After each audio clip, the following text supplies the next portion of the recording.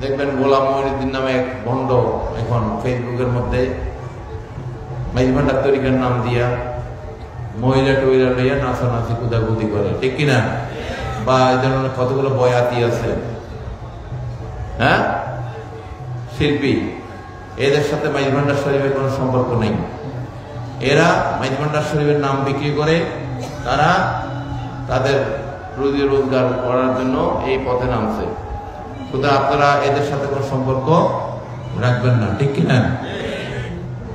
এই সমস্ত শিল্পী বা যারা মহিলা লইয়া, পাশের মহিলা লইয়া নাচানাচি করে ব্যাপারটা এই সমস্ত প্রদর্শন করে, এগুলা নিঃসন্দেহে এগুলা না যায় এগুলার সাথে কোন সম্পর্ক তরিকার নাই।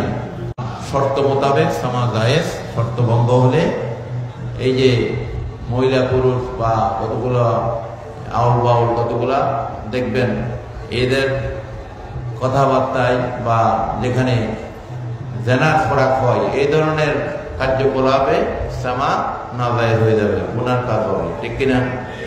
শর্ত মোতাবেক সামা জায়েজ, করতে পারলে করবেন, না করতে পারলে করবেন না, কিন্তু গুণাগার হওয়া যাবে না। নিয়ন্ত্রণ করতে না পারলে, পবিত্রতার মধ্যে করতে না পারলে সামা করলে গুণাগার হবে, ঠিক কিনা?